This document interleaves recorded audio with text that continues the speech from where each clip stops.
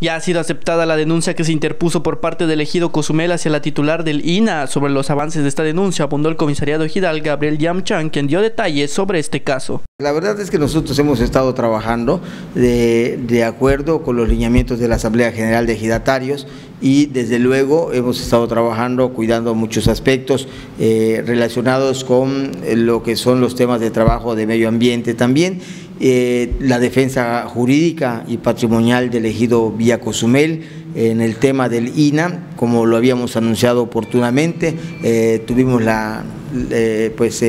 la oportunidad de presentar en función de, los diferentes actos que se habían generado y que yo me enteré vía prensa, este, pues obviamente eh, decidimos interponer una queja ante la función pública, misma que ya fue admitida, ya tenemos nosotros eh, la información, la mandamos vía correo electrónico este, a los correos oficiales de la, de la Secretaría de la Función Pública, del mismo Instituto Nacional de Antropología, de igual forma, eh, exhibimos ante la Comisión Nacional de Derechos Humanos parte para que se abra la investigación correspondiente en función de lo que había estado ocurriendo y del hostigamiento que habíamos estado recibiendo de manera institucional por parte de esta dependencia federal. Y en efecto te puedo comentar que ya el 2 de octubre se admitió eh, la queja que presenta el ejido Villa Cozumel eh, respecto de los hechos que pretendía llevar a cabo eh, esta, esta dependencia sin razón de ser, sin fundamento jurídico, sin motivación jurídica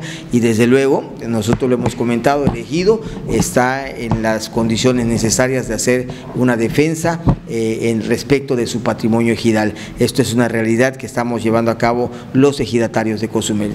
Agregó que se les dio respuesta sobre el expediente de este caso en un correo electrónico y dijo que el ejido ha realizado las acciones jurídicas pertinentes con el consentimiento de la Asamblea General de Ejidatarios en todo momento. Bueno, si me permites, no tengo yo el documento, pero si me permites, yo recibí por acá un correo de la ciudadana Paula Itzel Campos, en el que me establecen que por instrucciones del titular del área de auditoría interna en suplencia, por ausencia de titular del área de quejas en el Instituto Nacional de Antropología e Historia, se, le, se nos hacía de nuestro conocimiento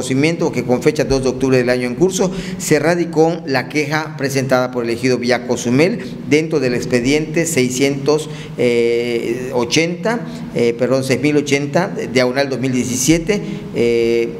del año 2017, eh, número 364, diagonal de E364.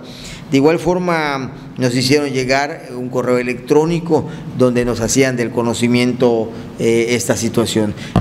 En, resumen, elegido interpuso el recurso que tenía que haber interpuesto hasta este momento, sin descartar otras acciones jurídicas en la defensa del patrimonio ejidal. esto, desde luego, es del conocimiento ya de, mi Asamblea General de Ejidatarios, ya que todo lo que nosotros hemos estado llevando a cabo ha sido precisamente con autorización y sobre todo con el conocimiento pleno de la Asamblea General de Ejidatarios. Al final habló sobre el funcionamiento de la pluma vial y que actualmente ha estado dando buenos resultados pese a las críticas que se han recibido. Bueno, nosotros eh, esto hay que tomar en consideración, mira, eh, lo relacionado con el aspecto de la pluma, lo vuelvo a repetir, eh, aquí en Cozumel hay diferentes zonas que cuentan con pluma, tenemos al Hotel Presidente, tenemos la Marina Fonatur, tenemos San Gervasio, tenemos Punta Sur, muchos de estos lugares tienen pluma, entonces yo no le veo mayor problema a que elegido vía Cozumel propietario de sus tierras ejidales pueda tener y regular su acceso, como lo establece el artículo 73 y 74 de la ley agraria. Eh, la gente que habla, y lo vuelvo a repetir,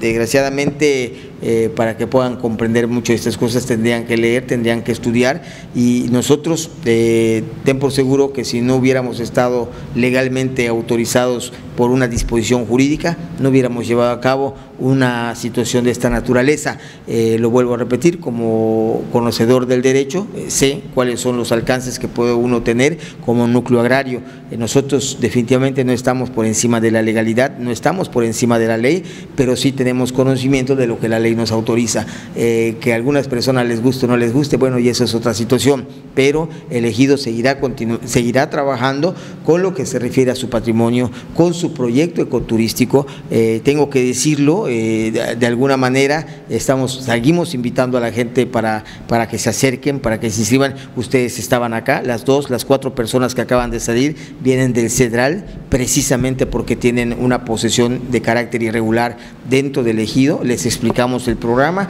salieron bastante satisfechos. Ustedes estaban aquí afuera en este momento cuando vieron salir a la gente de mi privado y, obviamente les estamos entregando sus hojas de registro. Eh, en efecto, todo lo que podamos hacer por el Cedral y por los ejidatarios lo vamos a hacer. Nosotros nos debemos a una Asamblea General de Ejidatarios y sobre eso seguiremos trabajando. Con imágenes de Eduardo Bacap, informó Iván Maldonado.